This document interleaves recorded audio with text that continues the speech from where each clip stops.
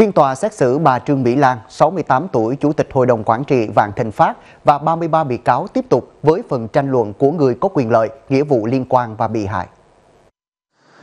Là người đầu tiên trình bày, luật sư bảo vệ quyền lợi cho công ty Bitexco đề nghị hội đồng xét xử không thu hồi hơn 15.712 tỷ đồng mà tập đoàn đã nhận từ bà Lan. Tại tòa, luật sư của Bitexco nhắc lại quan điểm, thỏa thuận của hai bên là giao dịch dân sự hợp pháp.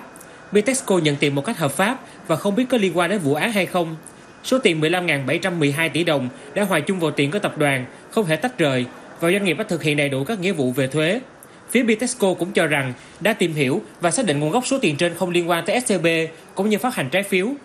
Việc bà Lan bị bắt trong quá trình thực hiện hợp tác chuyển nhượng đã khiến công ty phải gánh chịu thiệt hại hơn 12.000 tỷ đồng.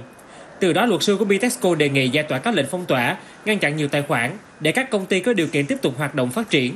Cũng trong buổi làm việc sáng nay, luật sư bảo vệ quyền lợi cho công ty cổ phần đầu tư Tân Thành Long An đề nghị tòa gỡ các lệnh kê biên phong tỏa để họ tiếp tục thực hiện dự án khu công nghiệp và khu dân cư Tân Thành Long để họ tiếp tục thực hiện dự án khu công nghiệp và khu dân cư Tân Thành Long An. Đối với yêu cầu của bà Lan về việc đề nghị trả 2.500 tỷ đồng còn thiếu khi chuyển nhượng dự án này, công ty đề nghị tòa cho thêm thời gian để trao đổi lại với bà Lan. Tuy nhiên bà Lan cho rằng dự án này đã bán cho Novaland. Nhưng trong suốt những ngày diễn ra phiên tòa, dù được hội đồng xét xử triệu tập thì phía Novaland không trả lời. Trước đề nghị của công ty Tân Thành Long An là sẽ trả khoản nợ 2.500 tỷ đồng bằng tài sản hiện vật. Bà Lan nói không đồng ý và yêu cầu Novaland trả ngay bằng tiền mặt 2.500 tỷ đồng để khắc phục hậu quả cho người dân mua trái phiếu, chứ không muốn thanh toán bằng tài sản. Thưa quý vị, vào ngày 13 tháng 10, một người dân trú tại thôn Thượng Bắc, xã Ngư Thủy, huyện Lệ Thủy, tỉnh Quảng Bình đã gửi đơn trình báo đến công an huyện về một nhóm người có hành vi cố ý gây thương tích và gây mất an ninh trật tự sau khi bố anh bị đánh nhập viện. Theo trình báo vào tối ngày 10 tháng 10, ông Ngô Văn Lư, 55 tuổi và bà Ngô Thị Mai, 54 tuổi đang ăn cơm cùng các cháu thì bất ngờ bị một nhóm khoảng 8 người lạ mặt đi trên hai xe ô tô ập vào nhà hành hung. Nhóm người này đánh ông Lư gục xuống bất tỉnh tại chỗ, bà Mai kịp thời chạy ra sân kêu cứu. Hiện ông Lư đang điều trị tại bệnh viện Trung ương Huế trong tình trạng lúc tỉnh lúc mê, thương tích đầy người. Theo người nhà nạn nhân, nguyên nhân có thể xuất phát vào ngày 9 tháng 10 và ngày 10 tháng 10, Hội Nông dân xã Ngư Thủy tổ chức giải bóng truyền.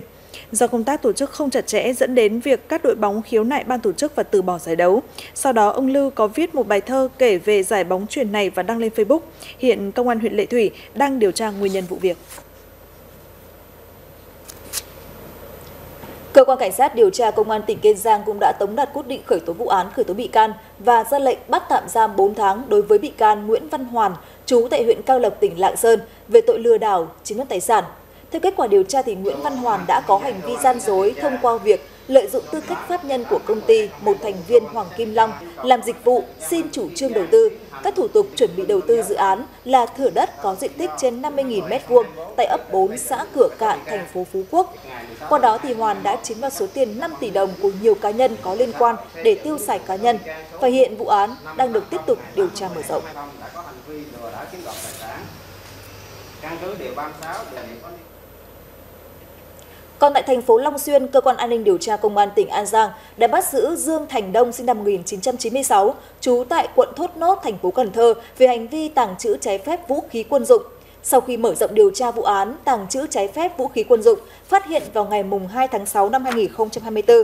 Và trong quá trình điều tra xác định, vào khoảng tháng 3 năm 2024, sau khi được Lê Thanh Xuyên nhờ mua một khẩu súng rulo, Đồng đã lên mạng tìm kiếm đặt mua một khẩu súng rulo giá 4 triệu đồng sau khi chuyển tiền thanh toán, 3 ngày sau, Đồng nhận được khẩu súng cùng với đạn đem về nhà để cất giấu. Vào chiều cùng ngày, Đông đem khẩu súng đến nhà giao cho Xuyên và nhận lại số tiền mua súng. Vào ngày 2 tháng 6 năm 2024, trong lúc Xuyên bán ma túy thì bị công an thành phố Long Xuyên bắt quả tang. Tiến hành khám xét khẩn cấp chỗ ở của Xuyên, phát hiện thu giữ khẩu súng rulo cùng với 7 viên đạn và 3 vỏ đạn.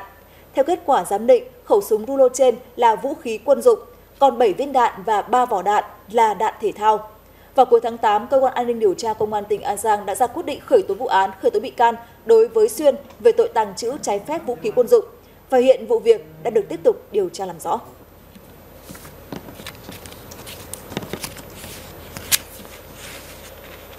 Thưa quý vị, cơ quan cảnh sát điều tra công an tỉnh Đồng Nai vừa ra quyết định khởi tố bị can, bắt tạm giam đối với Nguyễn Như Khoa và Nguyễn Lương Bằng, đồng thời khởi tố bị can cấm đi khỏi nơi cư trú đối với Trần Thị Thu Thắm, quê tỉnh Khánh Hòa về hành vi lừa đảo chiếm đoạt tài sản. Theo cơ quan điều tra, ba bị can trên đã ký các hợp đồng chuyển nhượng, giúp sức cho Nguyễn Thành Luân, cựu chủ tịch hội đồng quản trị công ty Đại Lộc Phát, đã bị bắt theo lệnh truy nã, chiếm đoạt tổng số tiền khoảng 5 tỷ đồng của 27 khách hàng. Từ tháng 12 năm 2019 đến tháng 10 năm 2020, Luân đã nhận chuyển nhượng 5 thửa đất là đất nông nghiệp tại xã Đông Hòa, huyện Trảng Bom và giao cho nhiều người khác đứng tên trên giấy chứng nhận quyền sử dụng đất. Sau đó Luân tự ý phân thành 69 lô đất do công ty Đại Lộc Phát làm chủ đầu tư.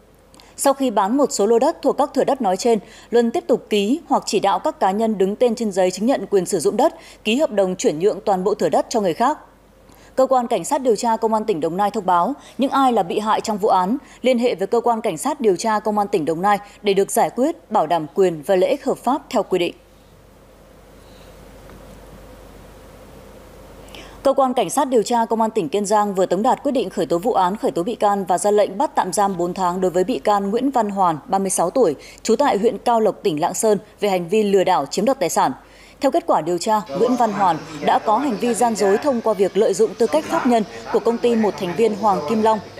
làm dịch vụ xin chủ trương đầu tư, các thủ tục chuẩn bị đầu tư dự án là thửa đất có diện tích trên 50.000 m2 tại ấp 4 xã Cửa Cạn, thành phố Phú Quốc, tỉnh Kiên Giang. Qua đó, Hoàn đã chiếm đoạt số tiền 5 tỷ đồng của nhiều cá nhân có liên quan và hiện vụ án đang được tiếp tục điều tra mở rộng. 580 ngày 8 tháng 10 2025 đã có hành vi Phòng An ninh mạng và Phòng chống tội phạm sử dụng công nghệ cao Công an thành phố Hà Nội vừa thông tin về kết quả điều tra vụ án lừa đảo chiếm đoạt tài sản của nhóm đối tượng do Hắc Ngọc Hoàng, Chủ tịch Hội đồng Quản trị Công ty Cổ phần Đầu tư Mario Capital cầm đầu. Quá trình điều tra xác định vào cuối năm 2021, do không có được đồng tiền ảo như dự kiến, Hắc Ngọc Hoàng đã thành lập thêm công ty trách nhiệm hữu hạn BSC Land Việt Nam, gọi tắt là công ty BSC Land, với mục đích là huy động vốn của khách hàng thông qua việc khách hàng mua đồng tiền ảo BSCL công ty BSC Land đã phát hành 4 đợt bán đồng tiền ảo BSCL và đưa ra các tài liệu về các dự án để các nhân viên kinh doanh đi tư vấn nhằm huy động vốn của khách hàng.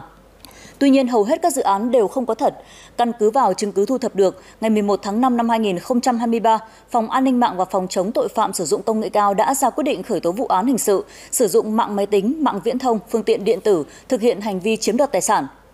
Trên cơ sở phối hợp điều tra, cơ quan cảnh sát điều tra công an thành phố Hà Nội đã ra quyết định khởi tố bị can đối với 7 đối tượng về hành vi này. Qua xác minh, cơ quan công an xác định có 8 bị hại đầu tư vào công ty BSC Land với tổng số tiền thiệt hại gần 6,5 tỷ đồng. Thưa quý vị, vào sáng nay ngày 13 tháng 10, Công an tỉnh Bình Thuận phối hợp với Ngân hàng Thương mại Cổ phần Ngoại thương Việt Nam Vietcombank chi nhánh Bình Thuận tổ chức diễn tập phương án xử lý tình huống đối tượng thực hiện hành vi cướp tài sản ngân hàng. Cuộc diễn tập huy động gần 150 cán bộ chiến sĩ thuộc nhiều lực lượng trong công an tỉnh, công an thành phố Phan Thiết, lực lượng đảm bảo an ninh trật tự ở cơ sở, bảo vệ ngân hàng, y tế cùng nhiều trang thiết bị phương tiện công cụ hỗ trợ đặc trùng để tiến hành diễn tập tình huống với tình huống giả định vào hồi 8 giờ 30 phút tại trụ sở Ngân hàng Thương mại Cổ phần Ngoại thương Việt Nam chi nhánh Bình Thuận thuộc thành phố Phan Thiết, năm đối tượng đi xe ô tô 7 chỗ đến và sử dụng súng quân dụng, dao tự chế, bom xăng thực hiện hành vi cướp tài sản tại ngân hàng. Sau khi uy hiếp khống chế bảo vệ người dân và giao dịch Người dân vào giao dịch và nhân viên ngân hàng, các đối tượng đã lấy được một số tiền lớn, sau đó bỏ vào ba lô và nhanh chóng tẩu thoát. Thời điểm vừa ra khỏi tiền sảnh ngân hàng thì phát hiện có lực lượng công an bao vây, truy bắt nên đối tượng đã quay trở lại quầy giao dịch khống chế 12 con tin đưa lên tầng 3 để cố thủ đòi yêu sách.